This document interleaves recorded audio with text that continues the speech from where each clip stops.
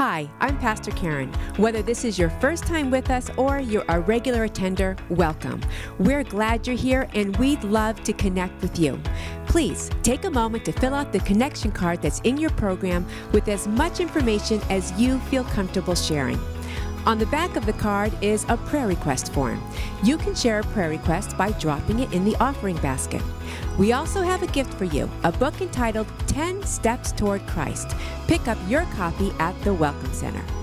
On Monday evenings at 6, we offer Clean for Men.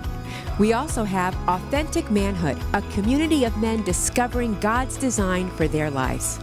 Tuesdays at 12:30 is Prayer for America.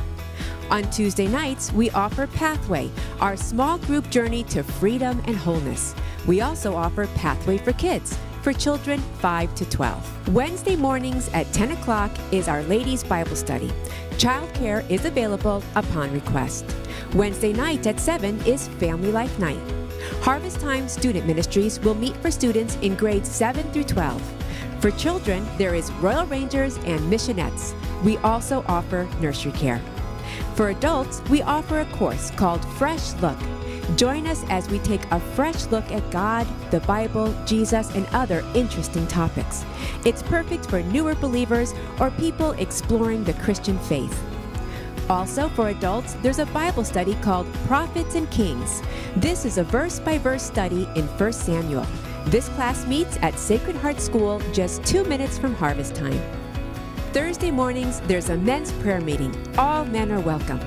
On Friday mornings is prime time, our Bible study for people 60 and up. Also, starting Memorial Day weekend, we are moving to our new summer schedule. There will be no service on Saturday evening. Please join us on Sundays at either our 8:30, 10 o'clock, or 11:30 services.